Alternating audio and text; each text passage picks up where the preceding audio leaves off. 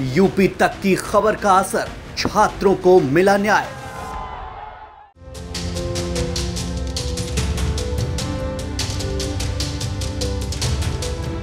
हाल फ़िलहाल में ही UP police सिपाही भर्ती परीक्षा रद्द करके योगी सरकार ने लाखों अभ्यर्थियों को बड़ी राहत दी है।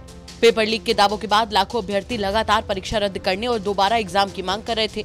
राज्य सरकार ने परीक्षा रद्द करने के साथ ही छह महीने के अंदर फिर से पेपर कराने के आदेश दिए हैं।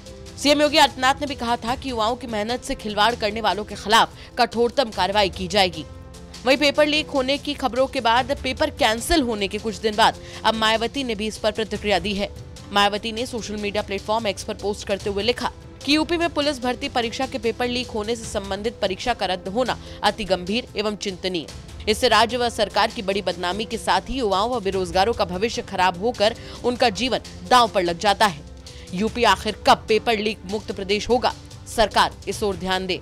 बता दें कि यूपी पुलिस सिपाही पद पर कुल साठ हज़ार दो सौ वैकेंसीज को भरने के लिए 17 और 18 फरवरी को प्रदेश भर में परीक्षा आयोजित की गई थी। इस परीक्षा में 48 लाख से ज़्यादा उम्मीदवार शामिल हुए थे। अभ्यर्थियों का कहना था कि दो दिन की चार पाली में हुई इस भर्ती परीक्षा में 17 और 18 फरवरी की दूसरी शिफ्ट का पेपर लीक हुआ है। 18 फरवरी की शाम तीन से पाँच की पाली में हुए प्रश्न पत्र तमाम अभ्यर्थियों के पास और कोचिंग सेंटर्स के पास पहले ही पहुँच गए थे, जिसे लेकर टीचर्स ने सोशल मीडिया पर उसी समय पोस्ट करना शुरू कर दिया था। ब्यूरो रिपोर्ट, यूपी तक।